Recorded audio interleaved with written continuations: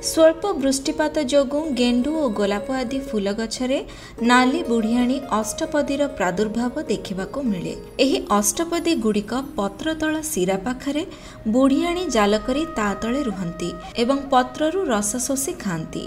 ଏହି କୀଟ ଫୁଲ ଚାଷକୁ କ୍ଷତି କରୁଥିବାରୁ ଏହାର ଆକ୍ରମଣକୁ ପ୍ରାଥମିକ ଅବସ୍ଥାରୁ ହିଁ ଚିହ୍ନଟ କରି ତାର ପରିଚାଳନା କରିବା ଉଚିତ। ଅଷ୍ଟପଦୀ ଆକ୍ରମଣ ହେଲେ ଗେଣ୍ଡୁ ଗଛରେ ଅଧିକ ଆକ୍ରାନ୍ତ ପତ୍ରଗୁଡ଼ିକ ଧଳା ଦେଖାଯାଏ ଓ ସରୁ ହୋଇଯାଏ।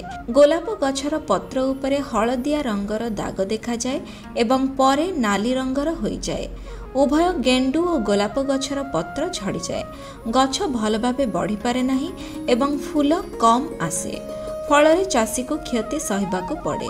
ନାଲି ବୁଢ଼ିଆଣୀ ଅଷ୍ଟପଦୀ ଗେଣ୍ଡୁ ଓ ଗୋଲାପ ବ୍ୟତୀତ ଭେଣ୍ଡି ବାଇଗଣ ଓ କଖାରୁ ଜାତୀୟ ପନିପରିବା ଫସଲକୁ ମଧ୍ୟ ଆକ୍ରମଣ କରେ। ଏହାର ପରିଚାଳନା ପାଇଁ ପ୍ରତି ଲିଟର ପାଣିରେ ଦୁଇ ଗ୍ରାମ ସଲଫର ସେଚିତ ଗୁଣ୍ଡ କିମ୍ବା ଦୁଇ ମିଲିଲିଟର ପ୍ରୋପାରଜାଇଟ୍ କିମ୍ବା ଦୁଇ ମିଲିଲିଟର ଫେନ୍ ପାଇରୋକ୍ସିମେଟ୍ କୀଟନାଶକକୁ ମିଶାଇ ସିଞ୍ଚନ କରନ୍ତୁ। ବଜାରରେ ସଲଫର ସେଚିତ ଗୁଣ୍ଡ ସଲଫେକ୍ସ ବଲୱାନ ଓ ସଲଫାଟେକ୍ସ ଆଦି ନାମରେ ପ୍ରୋପାରଜାଇଟ୍ କୀଟନାଶକ ଓମାଇଟ୍ ମାଇଟ୍ କିଲ୍ ଓ ସୁପର ଡାଇନାମାଇଟ୍ ନାମରେ ଏବଂ ଫେନ୍ ପାଇରୋକ୍ସିମେଟ୍ କୀଟନାଶକ ସିଗେଟ୍ ମିଟିଗେଟ୍ ଓ ଫର୍ମାଇଟ୍ ଆଦି ନାମରେ ମିଳୁଛି।